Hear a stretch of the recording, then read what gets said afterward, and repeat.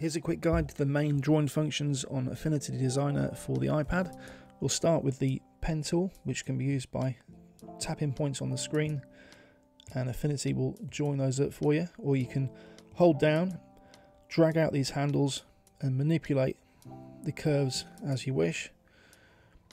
I find going back in with the node tool and editing these later is a much easier, faster way of doing things but this is the most precise way of using uh, line drawing on Affinity.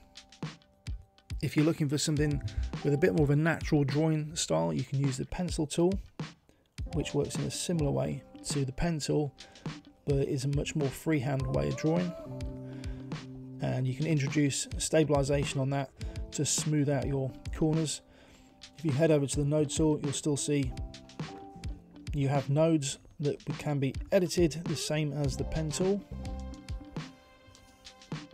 which gives you that flexibility but you still have the uh, freedom of drawing by hand.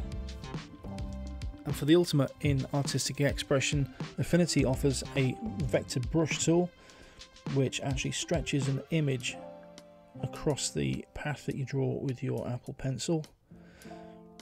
And we'll just zoom in, you'll see you get like a painted, hand painted look, but with all the benefits of a vector, as you still get the nodes that you can edit and add and subtract and adjust as you need. So those are the three main ways you can draw with Affinity Designer.